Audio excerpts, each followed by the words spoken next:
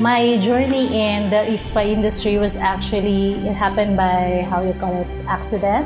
Since I was young, I was already uh, dreaming of becoming a successful businesswoman. So I started from, I think, around eight, age of eight. I was already start uh, selling candies and different things that I could possibly sell. So I really love doing business ever since. I came here in Dubai in year 2000. I was like 20, 21 years old. I didn't know anyone here. I didn't have any relatives. So prior to the salon, I was supposed to start up uh, like a food business, but it did not uh, push through. But that did not stop me from pushing my dream. So I started working as a front desk receptionist, earning like 1,200 dirhams the time. Of course, in the beginning, it was not easy first buying an already existing spa with the previous management who was really close to them.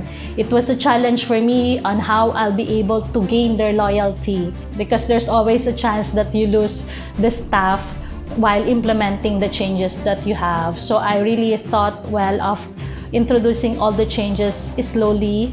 Along the way, you lose old clients, you gain new clients. So it, it was really difficult for me being a first-time business owner abroad. That would be my very first uh, big business.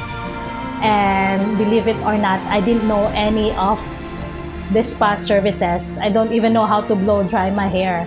I guess that's one of the secrets when you want to start a business, you have to set a timeline. You have to give at least one to two years. That's normal. And when you start business, you should have at least enough of around six to one year of extra fund for the operational expenses. I decided to open a Philippine branch of Infinity there in Philippines because I just do what I love to do if you don't enjoy what you're doing, your business will not grow.